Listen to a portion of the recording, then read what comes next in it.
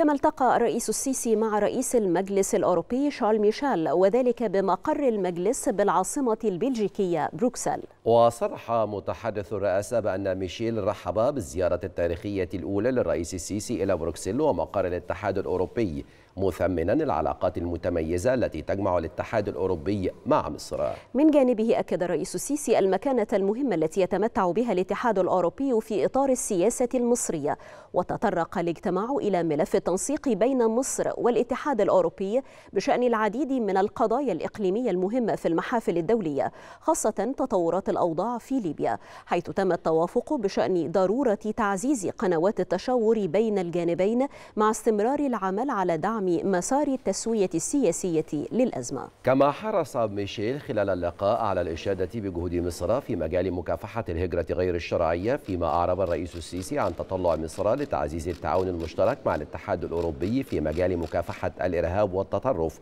وفقا لمقاربة شاملة تعالج الجذور الرئيسية للإرهاب والتطرف.